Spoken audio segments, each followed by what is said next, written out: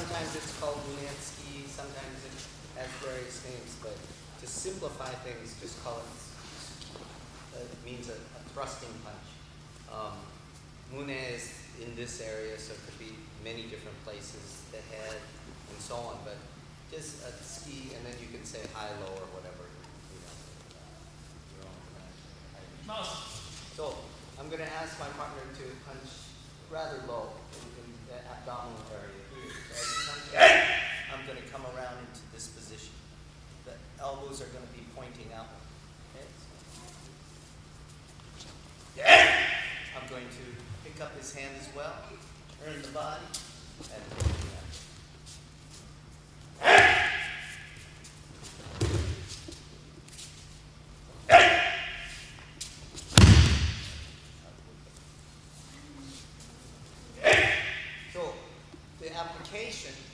the application, Oyowaza, would be at the elbow. But this is rather dangerous for your partner. So please go into the shoulder joint. Turn your body. Extend your arm. All right? As she punches, I want to meet the, the back of her shoulder with the line that goes from my little finger through the elbow joint up the shoulder. So I can come up with the thumb up position, but it's not going to have the same effect. I can do it with the back of my hand and come up, but it won't have the same effect. However, if I turn my hand down, she'll move. So this line on our body is very strong. This is the same line we do when we roll. So why wouldn't we throw with that same line? Okay. So you don't want to get to that point. You want to meet your partner's arm arm joint at that point. Eight. Okay. So when you turn, ideally this the same position, just just to play with that, that you're as if you're going to take the role yourself, and then that's for me that's the ideal position. You're, you're matching your partner. You're, you've blended and harmonized with your partner. Then you can throw. So this, this next throw is a little, little different. It has a, a different feel to it. So as my partner punches, instead of coming in here and attaching, I'll only use one arm. So this is like a vine wrapping around his arm. But I'm just doing kokyu, right? But then focusing little smaller spirals around his arm. The power comes from the opposite side of the body, over here. So if I want to throw him forward, it's not from this side, but I'm bringing this side back, and therefore he'll come forward. So you can think of uh, Aikido techniques taking the characteristics of hard and soft, yin and yang, right? Usually hard, right? Because our style seems to be a little more solid. So solid extension and so on. So if I have a really solid position and he attacks, he's going to attack stronger. If I have a very relaxed demeanor, he kind of relaxes too. But I want him to attack softly. I want him to attack hard. So I take a hard position. Then he punches. Now I'm soft. This just wraps around soft. Then hard. That is just solidified. So punches, soft, hard. Okay? Try that. So we'll, if you don't mind, we'll look at So my partner punches in the same fashion. You imagine more like an application feel. That is, my elbow, my elbow will meet his elbow here. So this feel. Then I step. Palm goes to the back of my partner's hand. I'll come up.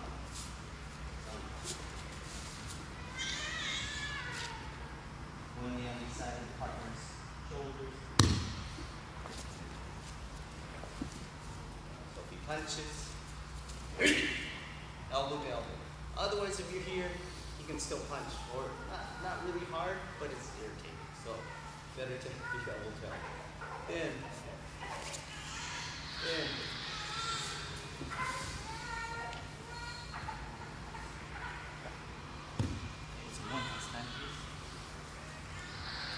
As he punches, one, This motion is down. Pivot at, from the elbow joint. And when the, the wrist gets underneath the elbow, stand up.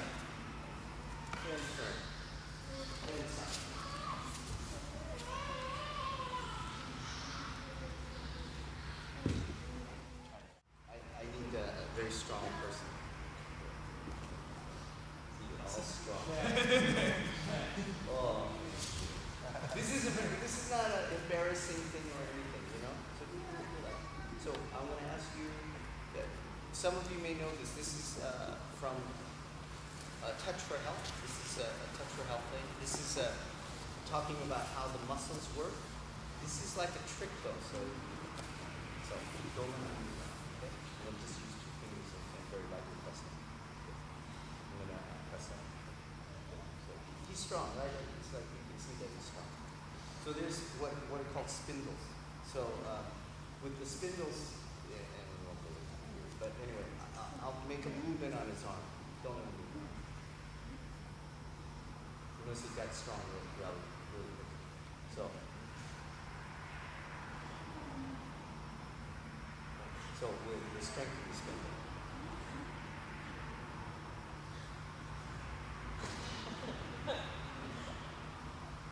So you can you can see it's a very interesting thing.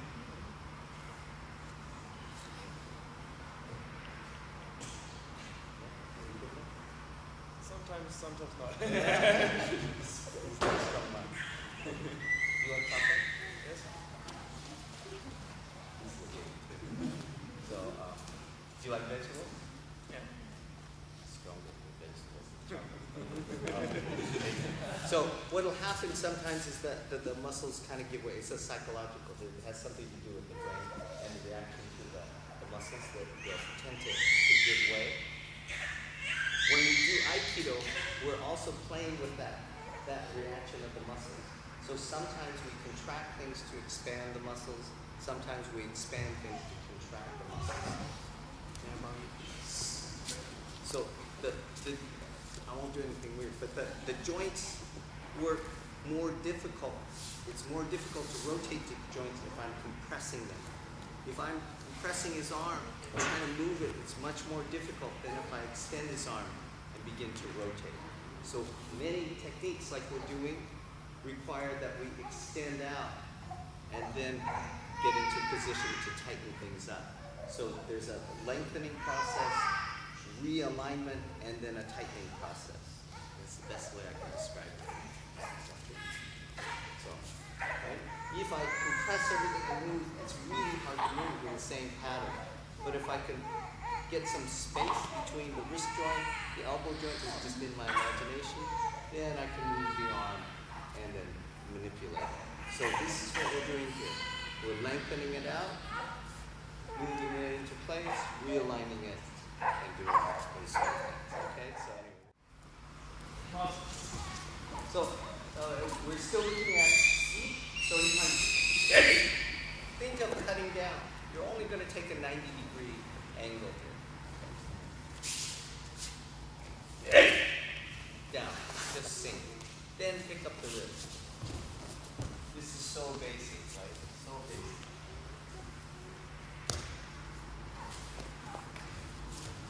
So deep.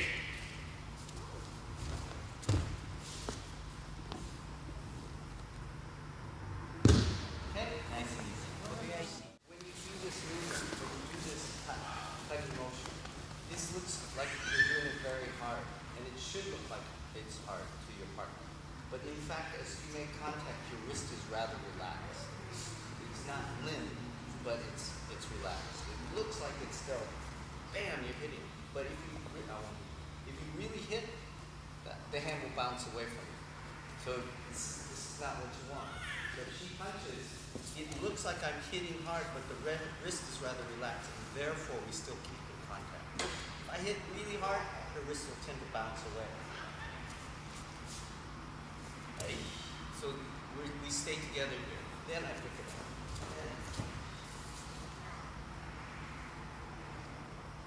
Okay? We get excited and want to take a small space, but there's no space for your partner to fall, so you have to crunch on the wrist. So it's not not necessary at all. So uh, one more time. So if you make a fist for me, please. So uh, Sensei used to do this in, in uh, you know in, in many many years ago in, in the 70s. It was really interesting. He would say, "Kotegaeshi is not about strength. You're not trying to flex the wrist or bend the wrist. You're just trying to follow the, the key.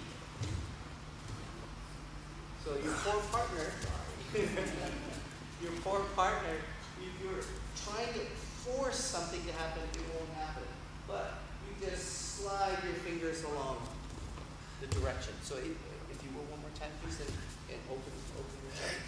So you literally follow your partner's fingertips. So I'm going to squeeze your finger. So I, I just for, for my benefit, my wrist. So it's as if you're elongating your partner's fingers and you follow that motion. For some reason, it'll fall. And you notice there's not really any big pressure on the wrist. You feel pressure on the wrist? Not so much. So it, it'll happen because it takes your balance point away. Okay, so it's possible to do kotegaeshi lightly. You can do it strong but lightly. It's not always flexing the wrist. You can do it by flexing the wrist as well. So the old-fashioned way is doing this, but this really hurts. You know, you know this one. It's, it's very hard. So we won't do that. Okay, so he punches. This hand goes here.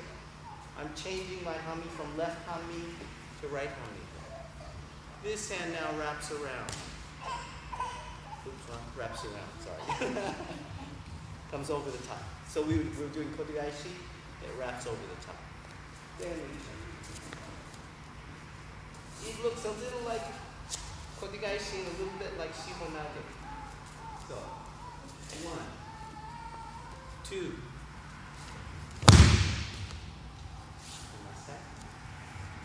The backhand protects. Just changing hum protects. First hand wraps around. It looks like I'm pulling him, but I'm just extending my arm. Then I find the space between us. Okay? This is very familiar as well. So this he, he punches. right? He goes very basic. So we only do this a short time just to set up this thing. One, two. Okay? And some of you, if there's a break, remember the ballroom dancing. This is very good, you know. So don't forget the ballroom dancing idea. That is, if somebody is punching here, I really don't want to step back. Because if you ballroom dancing go like this, your poor ballroom dancing partner will probably run into you. So really you change places. This feeling. So the two-step is an ideal, well, it's, it's just like a dance two-step thing, you know? So it's really moving in a circle.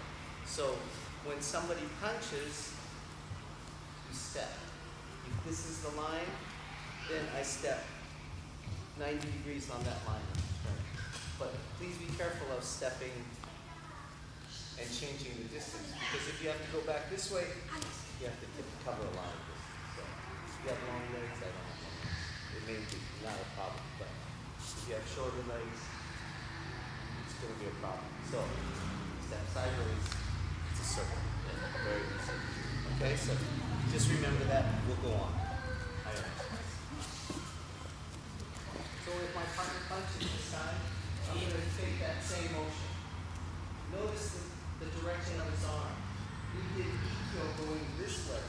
We're going to do a version of Ikkyo, but we'll come out the direction of his arm. Okay, so don't worry about a pin, but you will be able to pin your partner.